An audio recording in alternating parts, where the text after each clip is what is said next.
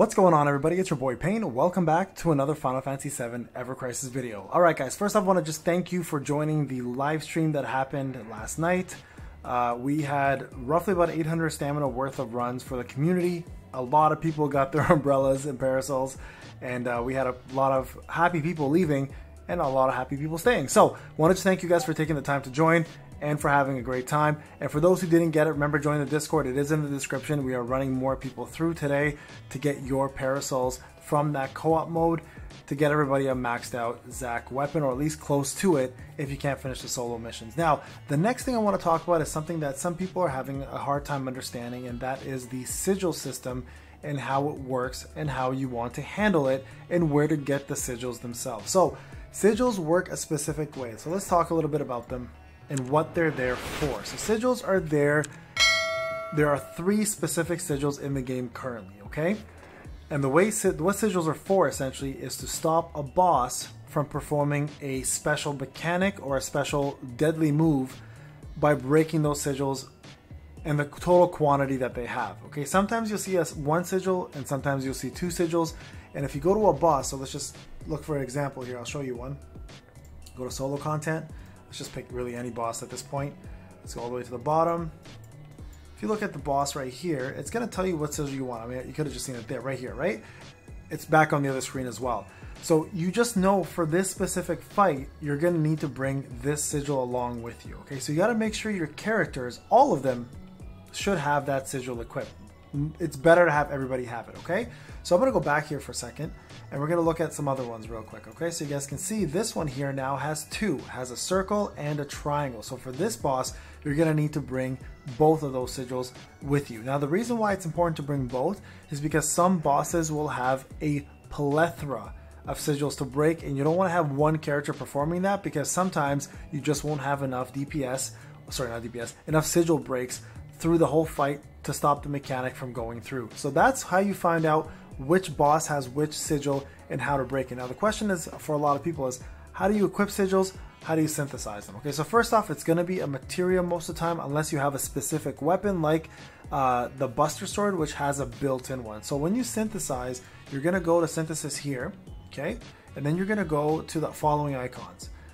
I'm going to make another video today that's going to help you guys focus on what to create and where to go in terms of what your goals are. I'm gonna help you guys set some goals and how to focus on those goals and what to create and how to how to get there. But we'll make that a second video. But for this specifically, every time you click on one of these, it'll show you what materia can actually create these sigils and break them. So you can have either a ruin here, which is going to be a magical attack, or you can have yourself a physical attack, which is the blow, okay? So completely up to the, the weapon you have and how you want to handle it. Some of your weapons will have materials that require magic attack, some of them will have physical attack only. Sorry for the, the blinking, it's the emulator. So let's go ahead and create one here. So you can choose what you want to create. I'm to go ahead and synthesize this one. And then you guys can see here, it's 21 minutes. We'll just do a quick shortcut here and pop it up and you'll have a choice to sometimes get a 1 or 2 with some substats, right? This is the sigil here. Now, what you end up doing to make it work is you just equip it, simply. Now, the best way to equip it, though, is to understand what, what units need what. So, for example, the best method of equipping is this, all right? So let's just say we're to go back to the infamous uh, Murasame here, and actually, you know what? Let's go to Enhance. Uh, no, actually, you know what? Let's go to Equip. Let's go to my party go to cloud. Use cloud as the example, okay?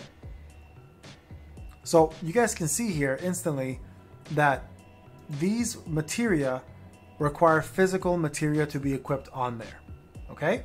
Very important to note that. Now, this one here is uh, Rune, Rune Ra Blow, which gives me the circular one, okay? It doesn't require the circular one, but I have it on there because there's a boss that I fought recently that needed that. So that's the one I equip. So you equip it on something that's physical and you instantly get the material that works. Now, if you look at somebody like Aerith though, who requires a magic one, right? The ability one, you want to equip something with magic. Cause see, look, I equipped this same thing with the X, X Sigma on a magical one or an ability one, or this is magic, magic attack. And look, I'm not getting it, right? So these ones here, you definitely want to make sure they're equipped in the right place. Now, Fire Blow is only here for one reason and one reason only, to be honest with you guys, it's the stats.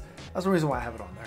But outside of that, this will does not activate the materia because this requires a magic material while this is a physical material. Okay, so remember anything that says blow will belong to the physical. Anything that says magic has to be a magic one. So in here, instead of having this, you actually want to remove this one and you want to cat and want to create this one. So let me just show you guys real quick. Let's just go ahead and create it, okay? Just so it makes more sense for everybody. So synthesize, we're gonna synthesize ruin, we're gonna make the X one here, and we're gonna cast, we're gonna create this one without the blow. This is gonna be the magic one. We're gonna add some materials, just add seven here for now, just to guarantee, oh, see, not even seven, let's go back. Do five, five. Add that, that'll guarantee a two star, right? And I mean, look, you can add, you can add more if you want, if you want the uh, extra substats, right? Just need to add, actually, substat plus two guarantee. Can we go times, yeah, you know what, let's do this. Five and two. So there we go. Three substats guaranteed, okay? Let's go ahead and add that, synthesize it. And you guys are gonna see here 23 minutes. So mostly gonna be a two star, maybe a one star for unlucky, but let's go ahead and confirm. So we got a two star. Now what? Now this here though is going to be available, okay, to go back to our character and party and equip that, right? So you're gonna we're gonna go back to solo party, go back to Aerith, and we're gonna go ahead and equip this instead, okay? So which one did we just do? Uh, let's go filter, and we know it's a ruin. We got this one specifically. Go back, and it was this one that we just created, right? So this is the magic one. There it is. So if you equip this, you can see now it activates that.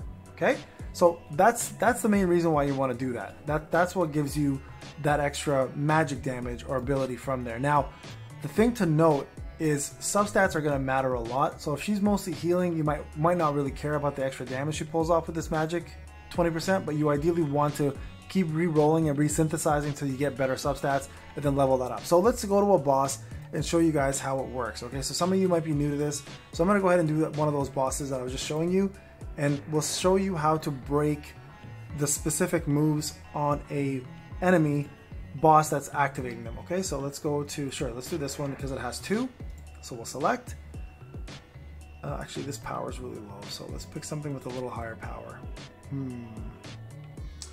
Let's go back and let's do the premium drops, premium quest. Okay, these have higher power, so we can do something a little, let's be a little hard, harder for us to get through. So I'm looking for the genomes.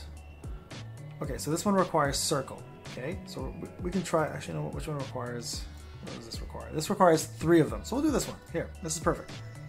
Okay, so you can see here, the only one we don't have is this triangle one here or this, this diamond one you can't get that one, so don't worry about it. I'm gonna go ahead and use one of my stand potions here, just to guys show you guys how this works.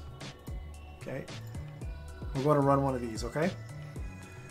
So that there is going to be the last thing you'll break. It's just pretty much any sigil attack or any attack, I believe. If I recall, I have to double check that last diamond one. Once you destroy the others, you can do that one and it, and it pretty much breaks it. Okay, so we're going to go ahead and run this on semi-auto. And we're going to let the DPS do what they do. We'll use our healer just to keep everyone alive.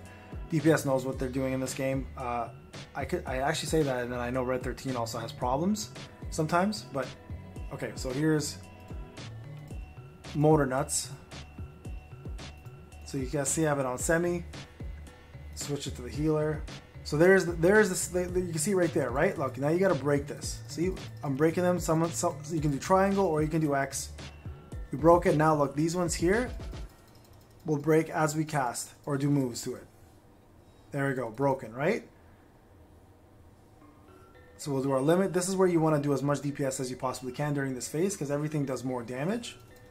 So don't worry about casting anything but your specials here, okay? Just do as much damage as you can and that's it. Voila! Sigil break, death to a boss. Very straightforward. So that's how it works, guys. So before you go into any fight, make sure each character has the proper sigils equipped. You can do a magic version and you can do a physical version. And it's extremely important to note the difference between the two, especially for your weapon materia. It'll just make your life a lot easier to complete if you can do it that way. Alright guys, this is Payne. Hope the video helped. I'll talk to you guys in the next one.